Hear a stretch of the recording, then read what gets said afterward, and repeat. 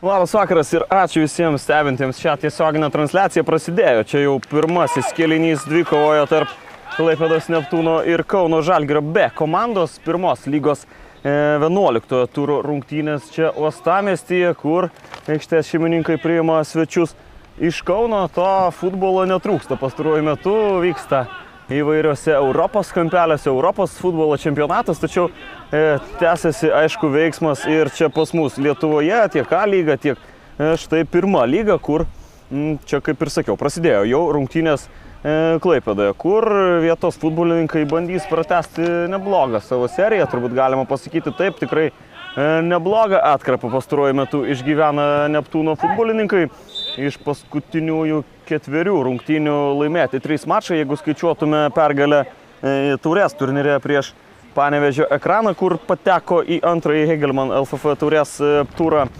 Klaipadas Neptūnas laimėtos ir paskutinės pirmos lygos rungtynės e, prieš kiek daugiau nei savaitę, birželio 11 dieną, mažiekiuose 4-0 įveikta vietos atmosfera.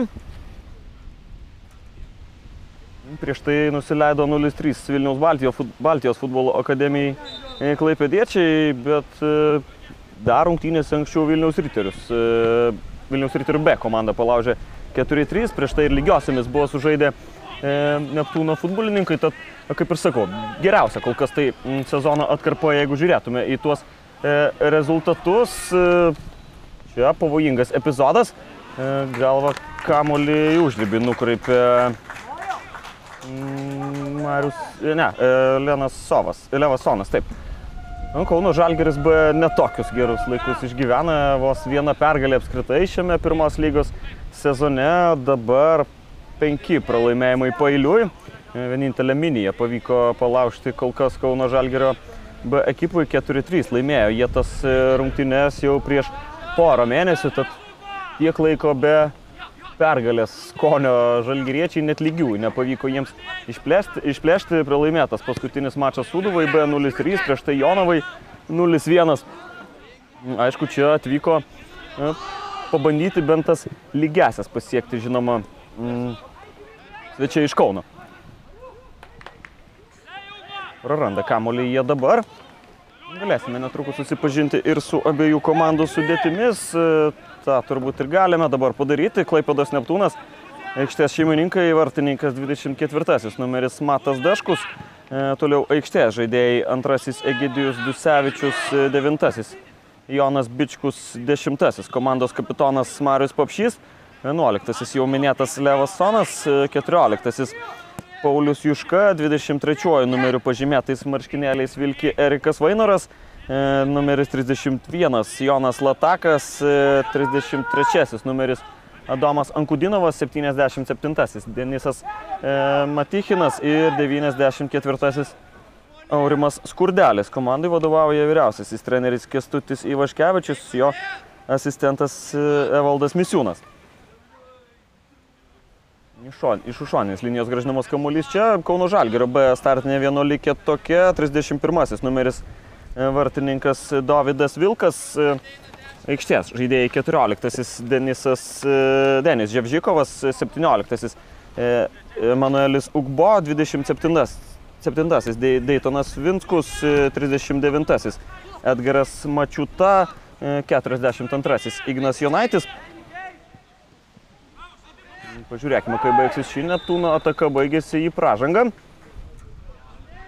Dar likę žaidėjai, kurių nepaminėjau, 45 numeris Tadas Popiera, e, 46 Nojus Akinis, e, 50 Marijus Mikuževičius, m, 58 Pijus Sudakovas ir 81 Aurimas Jurkevičius. Tokia startinė m, Kareuna išdėstė čia šį vakarą Klaipėdoje vyriausiasis treneris Kestutis Deltuva, jam talkina asistentai Audrius Tatkevičius ir Dominikas Gal Galkevičius, e, buvęs e, Kauno Žalgirio futbolininkas. Nu, Čia tokia e, rimta pauzė, nemalonus epizodas. Vienas iš Neptūno futbolininkų ir toliau ant aikštės vėjos. Reikėtų pristatyti, aišku, ir mačo arbitrus. Brigada iš Šiaulių vadovaus paradui šį vakarą vyriausiasis teisėjas Mindaugas. Mm, Jam talkina Aleksandras Stepanovas Stepanovas, atsiprašau, e, Arnas Alūzas bei e, ketvirtasis sekretoriato teisėjas Davidas Klimas. Čia standartinė situacija, kurią tikrai pabandys pasinaudoti e, Klaipėdos Neptūnas. Turi futbolininkų, kurie gali smūgiuoti, matome prie Kamulio ir Marius Popšys, vienas rezultatyviausių pirmos lygos futbolininkų.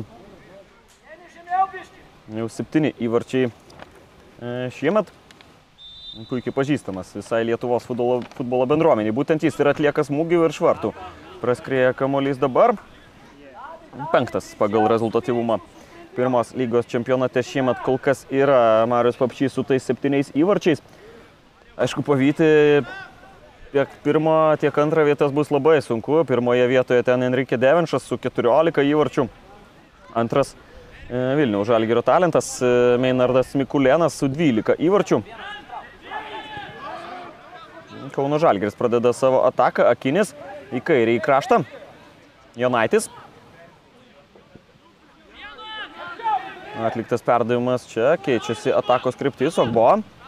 Pabandė atlikti smūgį į varžovą, atsitrenkė kamuolys.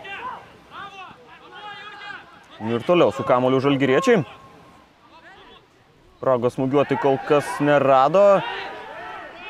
Čia prašė pražangos e, svečiai iš Kauno. Tačiau arbitro šilpukas tyli. Aišku, šių rungtynių favoritai turbūt galima sakyti, jog e, yra būtent e, Klaipėdos Neptūno futbolininkai, jie aukščiau yra pirmoje lygoje ir turnyrinėje lentelėje. Tačiau kol kas e, per tas pirmasias kelias minutės tikrai neblogą vaizdą palieka Kauno Žalgiris B, kurie paskutiniai šiuo metu pirmos lygos čempionate yra iškovoję vos vieną pergalę, patyrė devynis pralaimėjimus. Po dešimties rungtynių 14 pozicijoje yra Kauno komandos futbolininkai, turi vos 3 taškus savo sąskaitoje, vieno atsilieka nuo Riterių B. Tad šį vakar pergalės atveju pakiltų vienu laipteliu aukščiau turnyrinėje lentelėje, kurioje Neptūnas net keliais tais laipteliais aukščiau yra įsitaisęs devinti, kaip ir minėjau, transliacijos pradžioje yra klaipėdiečiai, po dešimties rungtynių e, laimėjo keturis sikius, kartą sužaidė lygiosiamis ir penkis pralaimėjimus yra patyrę Uostamiesčio futbolininkai, jie su 13 taškų atsilieka keturiais nuo Garždų bangos B. Kaip ir sakiau, pastaruoju metu forma tikrai neprasta, panašu įsibėgėja, po truputį Kestučio Ivaškevičiaus auklėtiniai čia Proga pelnyti pirmąjį įvartį, perdavimas ir kreipia kamolį tiksliai į vartus Marius Papšys. Dešimtoji mačo minutė čia, pelno savo aštuntąjį įvartį šiame sezone Marius Valera Papšys ir 1-0 aikštė šeimininkai priekyje. Tokį greitą įvartį pavyksta e, pasiekti čia Neptūnui.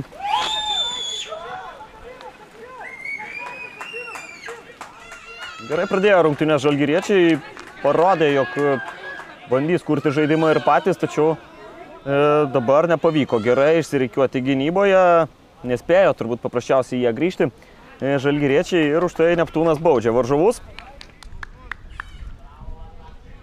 O grįžtant prie tų reikalų turnyrinėje lentelėje, galima paminėti, aišku, ir lygos lyderius, e, Jonavos komanda be pralaimėjimų, 33 taškai, 11 pergalių.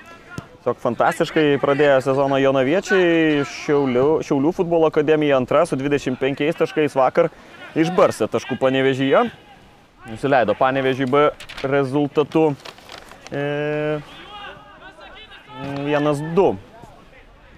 Nu, čia Klaipėdoje oras e, tikrai neprastas. E, futbolo, aišku, labai karšta, bet e, po jūrė, aišku, visas šioks toks vėjelis e, man irgi lapus pučia, 31 laipsnis pagal Celsijų.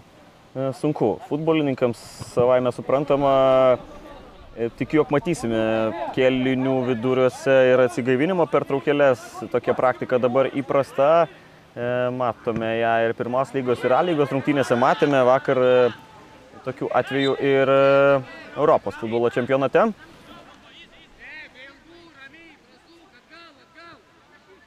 Sudakovas siunčia kamolį atgal e, gynėjų linijai. Labai jauna komanda yra Kauno Žalgeris B. E, pagrindą jos, aišku, sudaro jauni futbolininkai, vyriausias šiuose rungtynėse Manuelis Ugbo, legionierius iš Nigerijos. E, Jis 1996 metų gimimo, visi kiti žaidėjai gimė jau šiame tūkstantmetyje.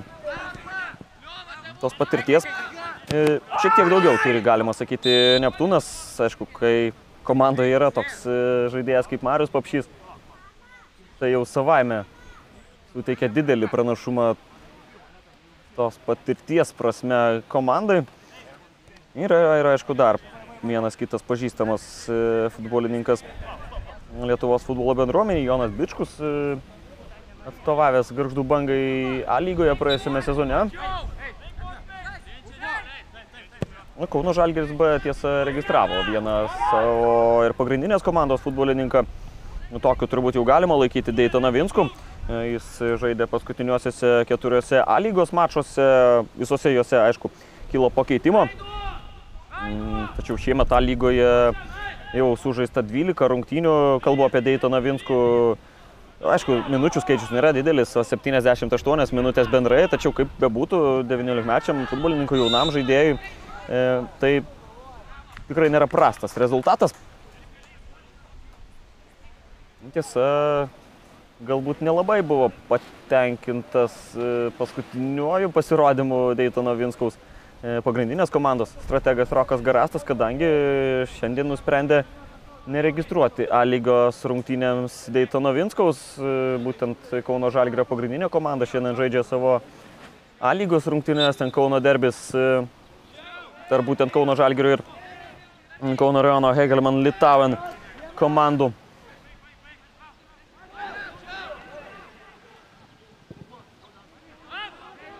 Tolimas perdavimas čia nelabai tikslus. Pradės savo ataką Klaipėdos Neptūnas, kurie, kaip ir minėjau, pastruoju metu demonstruoja tikrai neprastą formą, nuotaikos geros Neptūno stovykloje. E, Tikiu dar ir dėl to, jog e, tik ką metų gimtadienį, jeigu taip galima sakyti, atšventė Klaipėdos Neptūno futbolo klubas. Nekalbu, aišku, apie krepšinio komandą, Kiek teko girdėti, 2020 m. birželio 12 pradėjo savo veiklą būtent futbolo komanda.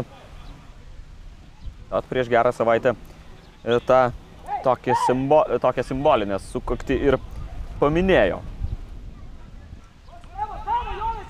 Dešiniajame kampe e, pratęsė ataką Neptūnas, Davidas Vilkas. Greita jo reakcija čia.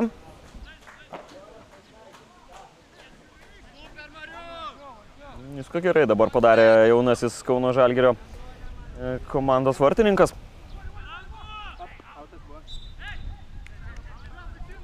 Jaunas dar žaidėjas, 18 metų yra e, Dovydui Vilkui. Tačiau jau ne vienerius metus tobulėja jis Kauno Žalgirio sistemoje. Registruotas yra ir OptiBet A lygoje yra ir dar keletas e, tokių futbolininkų iš tų, kurie atvyko mm, čia šiandien į Klaipėdą. Aurimas Jurkevičius, e, taip pat kaip sakiau, ir Daytonas Vinskus, e, tas pats Emanuelis Ogbo. Tiesa, nei Jurkevičius, nei Ogbo savo minučių stipriausiame šalies divizione dar nėra sulaukę.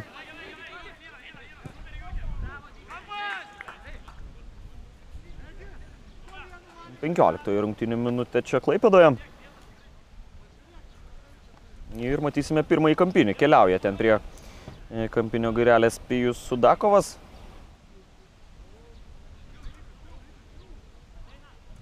Visgi greitai žaidžiamas kamuolys ten.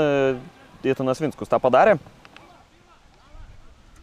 Keliamas kamuolys galva gerai žaidžia Egidijus Dusevičius. Nutraukė perdavimą. Tiesa, iš vieno kampinio antrą uždirba žalgiriečiai. Tačiau dabar jau iš priešingo kampo.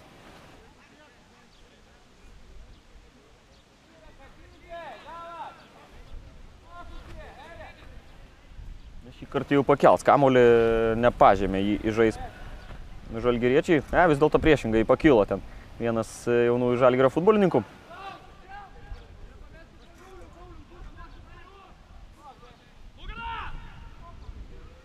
Perima kamolį klaipėdiečiai, proga bibekti į greitą ataką. Tai ir daro Marius Papšys, laimi kovą dėl kamulio čia prieš Edgarą Mačiutą, dviejų kapitonų, mikro dvikovų ir geltona kortelė. Na taip.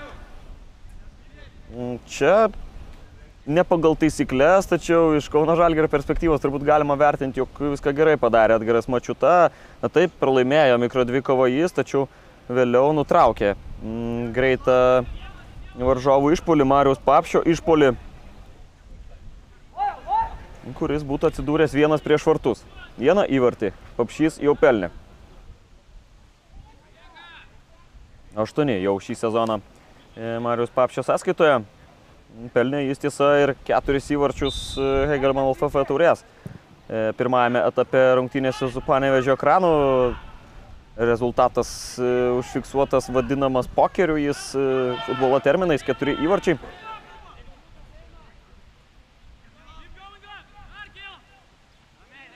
Iš naujo pabandys sukurti ataką Neptūnas. Aukštai juos pasitinka svečiai iš laikinosios sostinės. Paulius Juška. Tolimas perdavimas į kairį kraštą.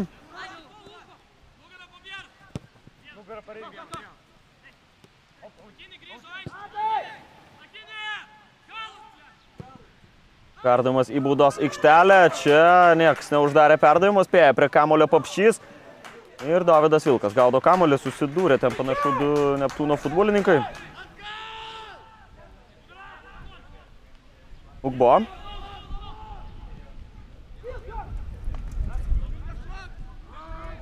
Kairiuoju kraštu čia Daytonas Vinskus.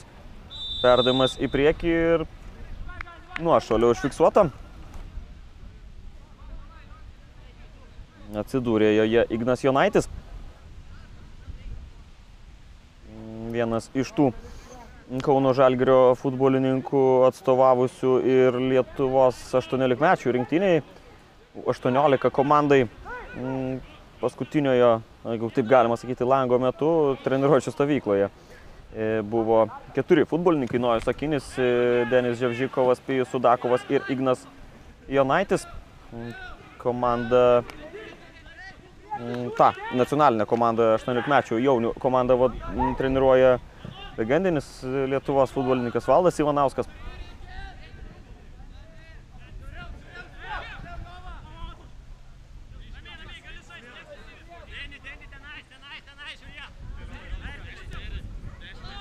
Buvo.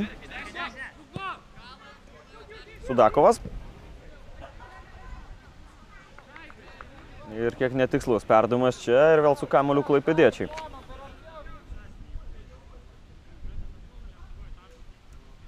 Neptūnas tiesa mm, jau visai netrukus žais ir tas savo antrojo etapo Hegelman Lietuvos futbolo federacijos taurės rungtynės. Kaip ir sakiau, pirmas mačas laimėtas prieš Panevežio ekraną.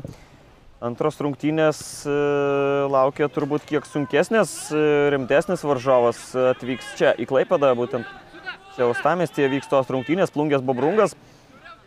Na, gali pasidžiaugti turbūt Neptūnas, jog e, negavo kaip varžovo vieno iš A lygos klubų.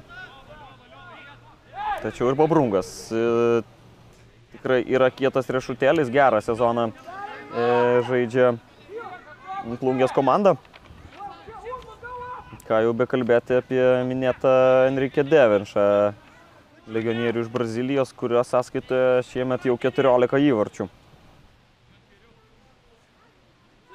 O, šiame ture pirmoje lygoje sužaistas ne vienas mačas.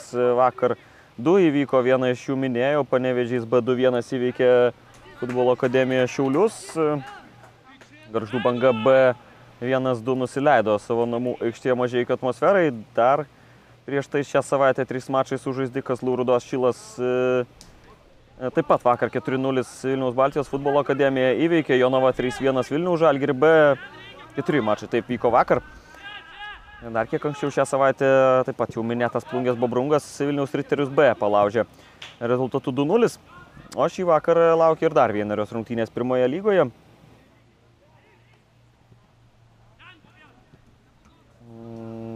Ne, visgi sužaistas, taip jau tas mačas 14 val. prasidėjo dvikovo Marijampolėje tarp Suduvos B ir Kretingos Minijos Minija. Ten iškovojo pergalę rezultatu 1-0.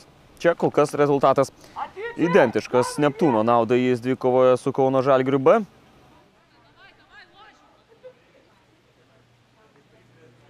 Ir čia pirmasis Klaipėdos Neptūno kampinis šiuose rungtynėse.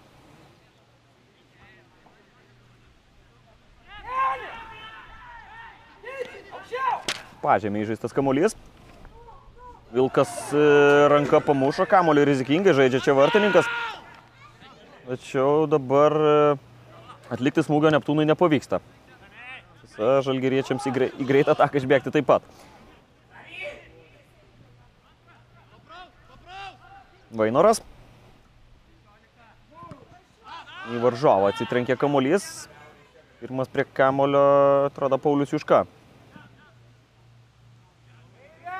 Ir vėl Erikas Vainoras.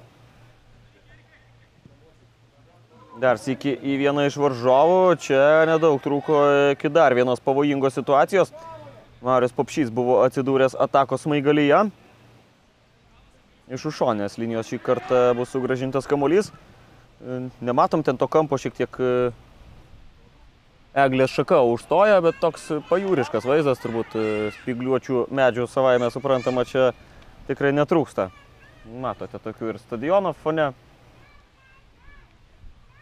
Dar vieną kampinį pakels aikštės šeimininkai.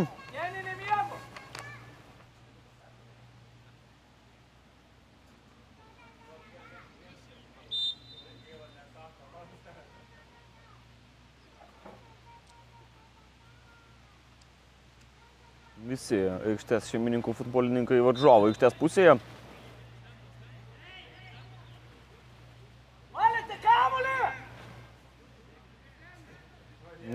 Čia reklaminis stendas, pasipošė tokiais čia savo namų aikštę Klaipados Neptūnas, naujų remėjų pasipildė. Civinity prisideda dabar prie Klaipados Neptūno futbolo klubo augimo. Matote, tokių stendų čia ne vieną. Pavyksta išsigelbėti dabar bent jau kol kas Kauno Žalgiriui B. Marius Papšys šalia vartų siunčia kamolį.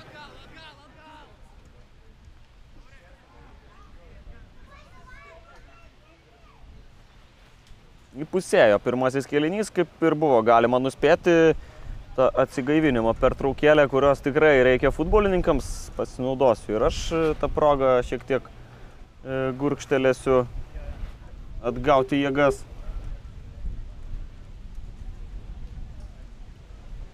Na, proga, aišku, tuo pačiu ir dar šiokių tokių papildomų nurodymų treneriams skirti saviesiems auklėtiniams. Matote, kaip naudojasi, naudojasi tuo Kauno Žalgiris B. Ta pati, aišku, daro ir Klaipėdos Neptūnas. Čia ne tik treneris, aišku, dalyja nurodymus, bet ir Marius Papšys.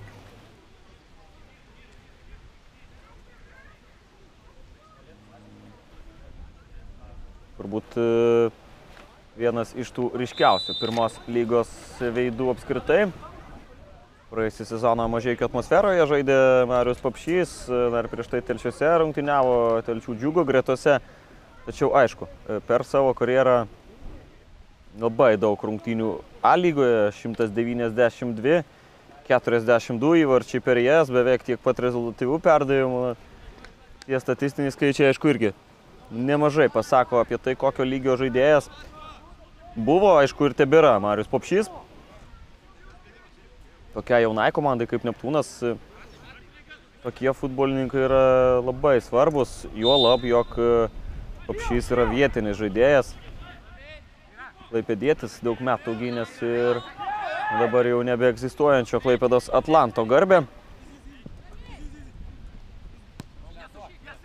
Kauno Žalgiris B dabar jau kiek kitoks negu pačioje mačo pradžioje. Matėme porą tikrai neblogų kauniečių atakų, ar bent jau na, pabandymų jie sukurti. Tačiau kuo toliau, tuo sunkiau sekasi pereiti į varžovo aikštės pusę svečiams iš Kauno.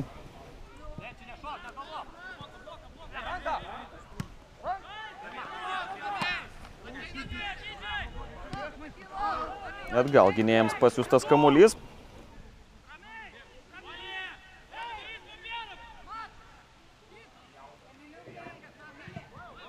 Čia šiek tiek paspaudė vartininką Mato Daškų Kauno Žalgirio futbolininko ir tas spaudimas pasiteisino.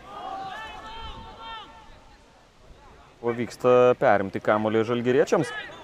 Emanuelis Ugbo. Dar vienas tolimas perdavimas, na, tokiais vargu ar pavyks e, ką nors daug išpešti Kauno Žalgirio futbolininkams, tačiau aišku, e, įžaisti kamolį sunku, tad bandoma imtis visų įmanomų variantų pereiti į varžovo aikštės pusę. Į tribūnas nuskrėjo kamolys. Jose šį vakarą čia klaipėda žiūrovų ne per daugiausiai, aišku, oras turbūt e, neprideda mm, naudos tam žiūrovų kiekiui. Labai karšta, tikiu, jog e, žmonės labiau renkasi galbūt e, nuvykti prie jūros. Tačiau netrūksta. Čia ir ištikimiausių Neptūno aistruolių.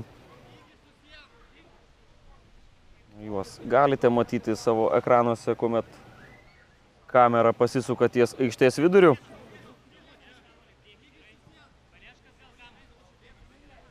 O čia viena iš tų progų, kuriomis žudbūt reikia bandyti naudotis Kauno Žalgiriui, bandyti užsikabinti už tai tokių situacijų, už standartinių situacijų. Kadangi jų daug susikurti, tikiu, jog nepavyks šį vakarą.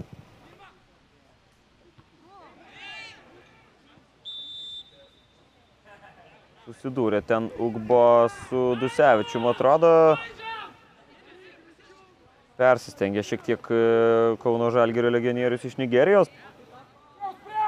Registruotas. Jis buvo 11 turo A lygos rungtynėms su Kedainių nevėžiu, tačiau aikštėje taip ir nepasirodė, jis dar laukia to savojo šanso debituoti stipriausiame šalies divizione 24 e, metų futbolininkas. Į sezoną vieną įvartį pelnė. Jis pirmoje lygoje. Tas tikslus smūgis krito į Minijos vartus toje vienintelėje e, Kauno Žalgirio B komandos šio sezono pergalėje prieš Kretingos Miniją 4-3 tąsik laimėjo Kauno Žalgiris B.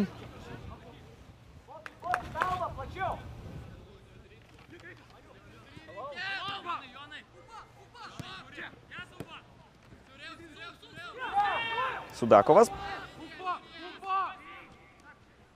Ugbo prieš Vainorą.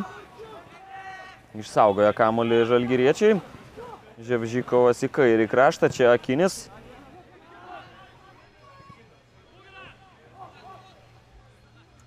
Apeiti vieną varžovą pavyko Sudakovui. Ir po šiokios tokios pauzės pavyksta sėkmingai pereiti į varžovo pusę Kauno Žalgirio futbolininkams ir čia dar standartinė situacija pavyksta užsidirbti.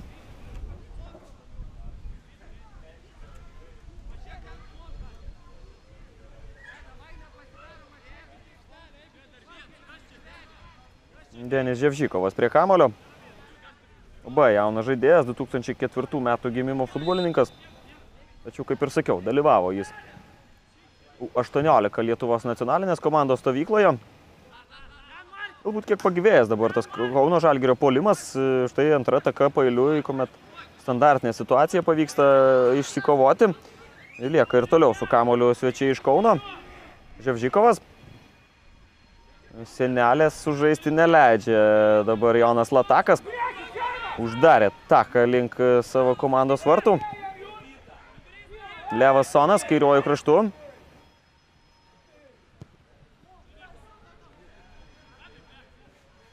Rizikingai žaidžia čia žalgiriečiai. Reikėtų greičiau nešti tą kamuolį lauk iš savo baudos aikštelės, kadangi kitu atveju jį gali susigražinti Neptūnas. Būtent tą dabar ir padaro klaipėdiečiai Dusevičius. Gainioje nemažai kol kas e, jaunesnius, jeigu taip galima pasakyti, varžovus Klaipėdos Neptūnas. Jėgų per nelyg ir netausoja Kauno Žalgiris B.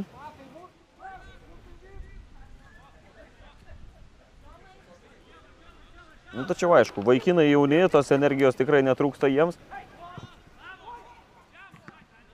Bet faktas toks, tas, jog e, tokio, tokiom klimato sąlygom tas energijos bakas tikiu, kiek mažesnis. Čia vienas rimtesnių Kauno Žalgirio B komandos bandymų.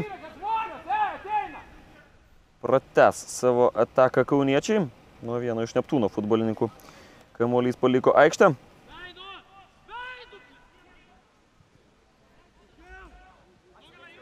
Marius Papšys perina į priekį. Prieš tada popierą jis. Kampinį čia matysime. Trečiasis prie Dovido Vilko gynamų vartų.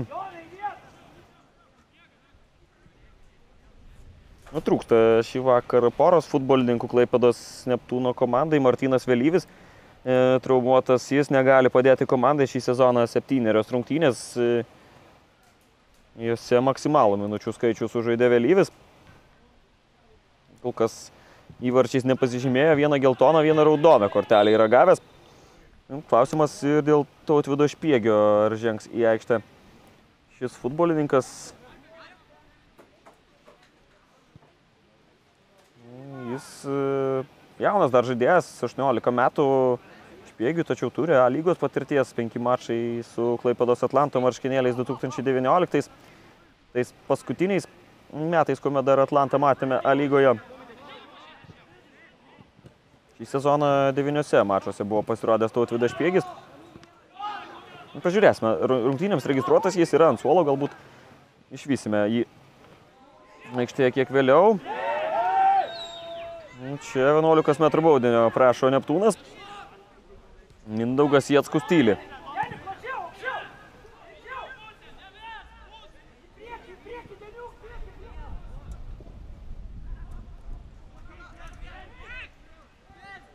Ževžykovas.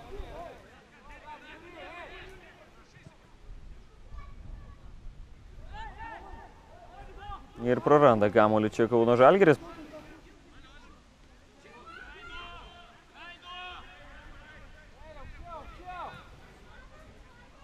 Aš šiek tiek pagyvėjo Kauno Žalgirio B žaidimas, tačiau ir toliau. Kontroliuoja rungtynių eigą Neptūno futbolininkai, neleidžia varžovams lengvai pasiekti savųjų vartų. O tuos, kuriuos gina Davidas Vilkas, dažniau matome savo ekranuose. Tų progų kur kas daugiau. Kol kas yra susikūrę klaipėdiečiai. Vieną iš jų pasinaudoti pavyko. Marius Papšys. Dešimtąją minutę išvedė Neptūną į priekį.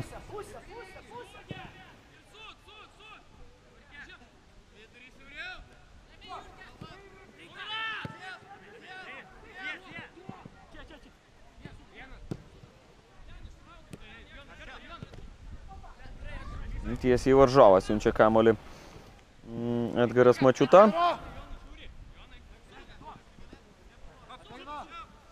Sudakovas.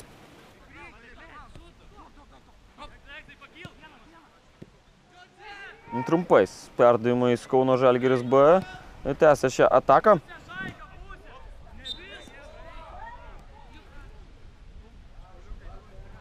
Ir praranda.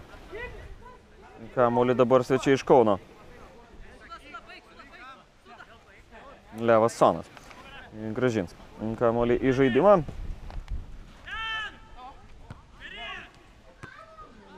Sono sąskaitoje šiame sezone vienas įvartis. Keturi žaidėjai Neptūno gretose yra po vieną pelnę. Kalbėti, aišku, reikia apie Marių Papšį, kuris šiandien jau aštuntą kartą tiksliai pasiuntė kamolį į varžovo vartus šių metų pirmos lygos sezone. Šešis įvarčius yra pelnęs Jonas Bičkus. Jis antras rezultatyviausias savo komandoje pelnė įvartai jis ir paskutiniosiose rungtynėse su Mažeikio atmosfera.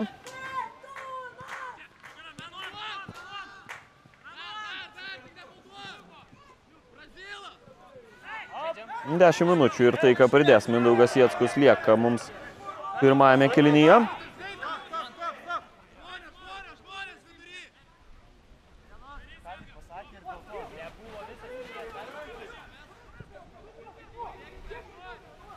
Perdavimą į priekį čia atlieka žalgiriečiai. Mikuževičius. Ževžykovas. Ir vėl Marijus Mikuževičius Ževžykovui. Čia šitą pavojingo galėjo galbūt sukurti Kauno Žalgiris B, bet nespėjo prie kamulio. Vienas iš jaunųjų Kauno Žalgirio talentų,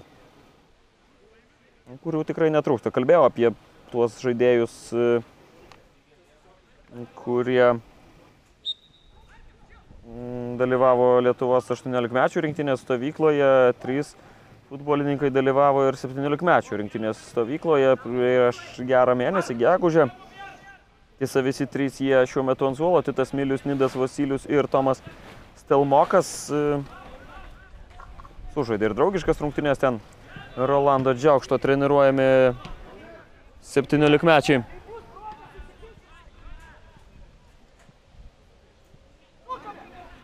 Praranda kamuolį Erikas Vainoras. Į greitą taką išbėgti nepavyksta Kauno Žalgiriui B. O čia kamuolys šiek tiek ir į transliacijos techniką pataikė. Mm, Svarbu, jog nieko rimto nenutiko. Reikia tikėtis, jog ir dėl karšto oro nieko rimto nenutiks ir neperkais čia įranga, aparatūra ir technika.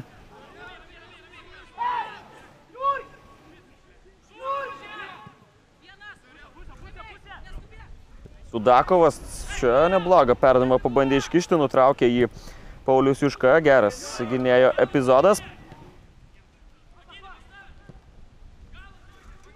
Marius Papšys. Jis ir toliau pastebimas šiose rungtynėse dešiniajame krašte. Vilkas muša kamolį ir kampinį matysime.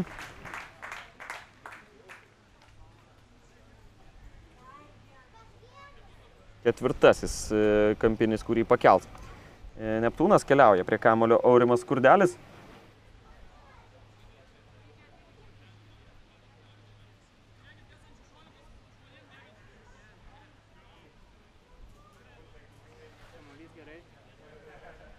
Kurdelis atsidarė savo įvarčių sąskaitą.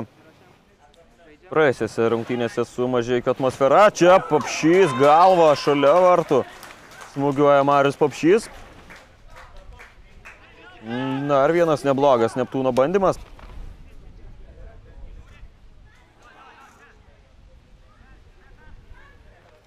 O tęsiant apie skurdelį, taip, pelnė pirmąjį savo įvartį, 4-0 laimėjo tos rungtynės.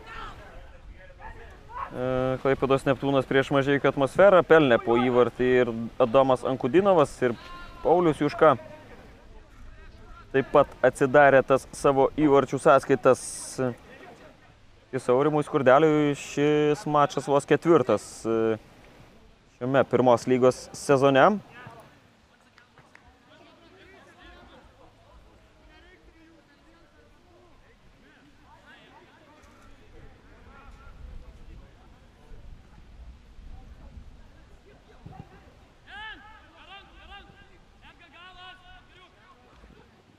Dviese. Čia greuna Jono Bičkų. Kauno Žalgirio B komandos futbolininkai. Nu, Bičkus nors ir jaunas žaidėjas, tačiau e, Klaipėdos Neptūno klube turbūt galima sakyti, jog vienas labiausiai patyrusių futbolininkų, aišku, po Mariaus Papšio e, yra žaidęs e, Klaipėdos Atlantė, Jonas Bičkus, pernai A lygoje 16 rungtynių su Gargždų bangos. Apranga, vienas rezultatyvus perdavimas per tuos 16 mačų anksčiau yra ir Levantės klube Ispanijoje tobulėjęs mm, Jonas Bičkus. Tas įvarčių skaičius turbūt irgi nemažai pasako, šeši čia e, nepavyko gero smūgio atlikti, lengvai susitvarko su šia situacija Davidas Vilkas, Erikas Vainoras pabandė e, pelnyti savąjį įvartį, vieną tokį yra pelnęs jis e, šiemet. Į Vilniaus Riterių B vartus e, įmušė prieš gerą mėnesį. Erikas Vainoras.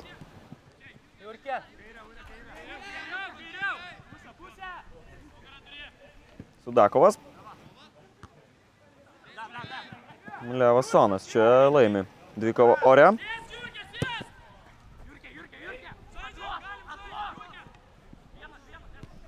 Aurimas Jurkevičius pirmas prie kamulio.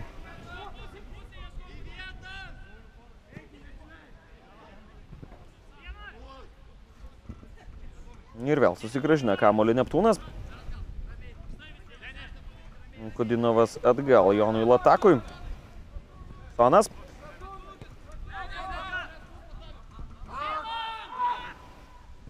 Ir vartininkui pasiustas kamuolys. Nu, Matas Daškus tiesa žaidžia prieš savo gimto miesto komandą iš Kauno. Yra kilęs šis vartininkas. Kauno Žalgirio klube neteko jam rungtyniauti. Žaidė praeisėme sezone Kauno rajono Helman Litavan ekipoje. Anksčiau ir kitame Kauno klube yra rungtyniavęs. Amžinatelsi Kauno Stumbro gretose. Ir Jonavos garbė ne per seniausiai gynė Matas Daškus.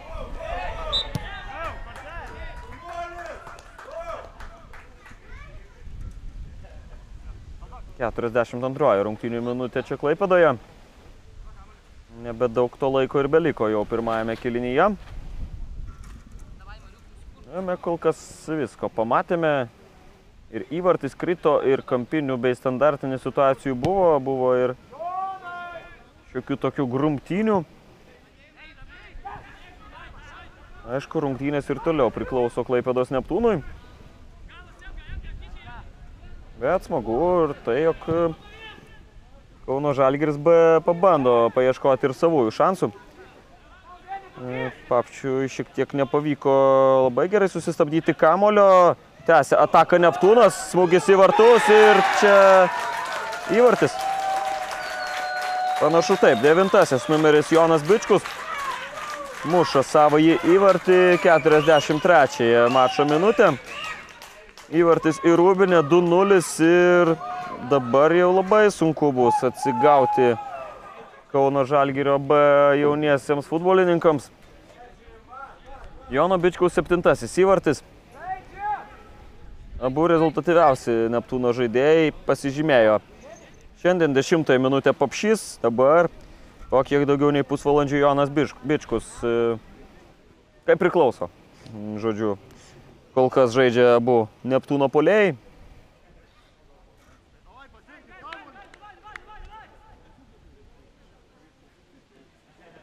Prieš tai gerą smūgį ten atliko Neptūnas, Vilkas kamolį atmušė, tačiau gerą poziciją buvo užsiemęs Jonas Bičkus. Svarbu tai, jog nenuošalėje buvo polėjas. Ir ten jau nelabai ką begalėjo padaryti Davidas Vilkas. Sudakovas nepavyko ten kamulio pasiekti Marijui Mikuževičiui.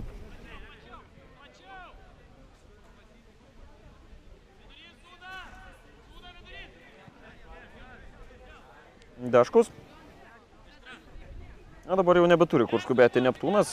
Reikia palaukti, kol baigsis ta pirmoji mačo dalis.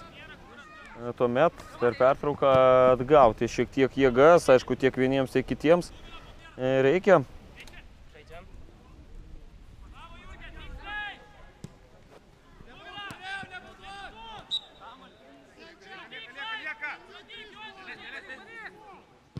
Na, svarbiausia, turbūt, jog nenuleistų dar rankų Kauno Žalgiris B. Na, taip, 2-0 prieš Neptūną bus sunku, bet parodė per pirmasis, dabar jau galima sakyti, 45 minutės, kad gali vieną kitą progą susikurti žalgiriečiai.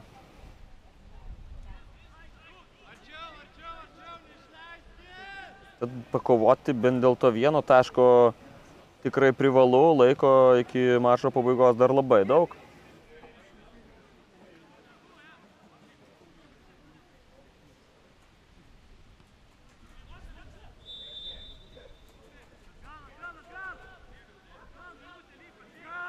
Tris minutės nusprendžia pridėti vyriausiasis mačo arbitras Mindaugas Jackus. Na taip, vienas kitas stabdymas buvo, buvo ir ta atsigaivinimo pertraukėlė kėlinio viduryje. Toks turbūt optimalus tas pridėtinis laikas, 3 minutės. Deitonas Vinskus buvo su kamoliu, atliko perdamą į kairį kraštą, na, kol kas vangiai pastebimas šiuose rungtynėse Deitonas Vinskus. Norėtųsi galbūt tikėtis e, didesnio įsitraukimo į atakas, į jų kūrimą. Kalbu apie Daytoną Vinskų, kalbėjau apie tai, jog e, jau 12 rungtynių šį sezoną A lygoje yra sužaidęs šis futbolininkas. Aišku, tas minučių skaičius nedidelis, pakeitimo dažniausiai kyla Vinskus. Marius Papšys daug e, pastabų turi savo komandos draugams. Na, tikiu, jog e, tuo pačiu metu ir gera, bet ir šiek tiek sunku turėti tokį komandos draugą kaip Marius Papšys. Tų pastabų pažarsto jis, e, tikiu, savo kolegoms, bet iš jų tikrai daug ko gali išmokti Neptūno jaunesni žaidėjai.